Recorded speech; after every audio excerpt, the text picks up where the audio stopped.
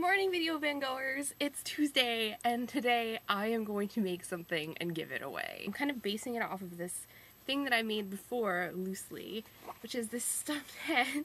So now we're upstairs in the sewing room and I have this silk screened picture of a face that I had made and we are going to make it into something. So first what we're going to need to do is we're going to cut our eyes out because we just don't want her to have eyes yet. I'll come back later, so don't get sad.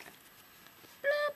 Beautiful. Later on, we are going to make eyes, and we're going to be like, I'm going to cut her mouth out. We are going to make it awesome, because we're going to add a really cool mouth. Make some crazy lips for this woman. And she's going to be all like, let's do it. For those of you who don't know much, this is a computerized sewing machine. It's got magical buttons all over it. I have a really cheap old sewing machine from like the 1980s, but obviously I am in Pennsylvania and all of my things are in Ohio.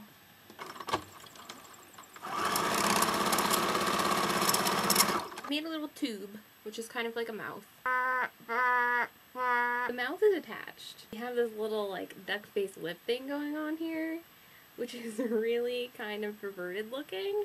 We are gonna make it really awesome and we're gonna throw a tongue in there. When you sew, you have to sew right sides together and then turn them. So the seam is on the outside right now. And if you turn it, you can see we've made this like tongue. Attaching the tongue is super easy because the tongue is turned right side out and we're just going to take the tongue and stick it in the hole. And stitch, stitch, stitch, stitch, stitch. This is what it looks like right now, and that's perfectly okay. And look kind of like a chia pet, which is kind of cool. So I'm taking a little break right now to paint the eyes because you want the eyes to be dry before you can put them inside the head. I'm using white nail polish to paint these wooden balls. You can use balls that are already white. You can use ping pong balls. They work really, really good. Or if it's around Halloween time, you can find really cool spherical erasers that already look like eyes. And then you don't have to paint anything. Paint the ball. I'm going to show you a trick. You're going to take red yarn and all you're going to do is pinch the end and pull it. And you see how you get that like little tuft? Well, if you put this tuft right on your eye, and blow on it, it looks like veins. They actually embed red fibers into real glass eyes. That's awesome.